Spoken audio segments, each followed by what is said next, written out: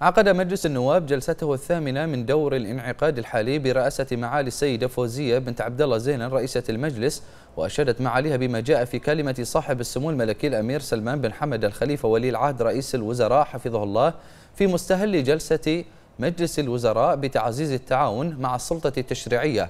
مؤكدة معاليها أن النهج الحكيم لحضرة صاحب الجلالة الملك حمد بن عيسى الخليفة عاهل البلاد المفدى حفظه الله ورعاه يمثل سبيلا مشتركا لجهود كافة السلطات في السعي لبلوغ الأهداف والغايات الوطنية التي ترسخ دعائم دولة المؤسسات والقانون وترتقي بالنهضة التنموية الشاملة والمستدامة لمستقبل أفضل للأجيال الحالية والقادمة.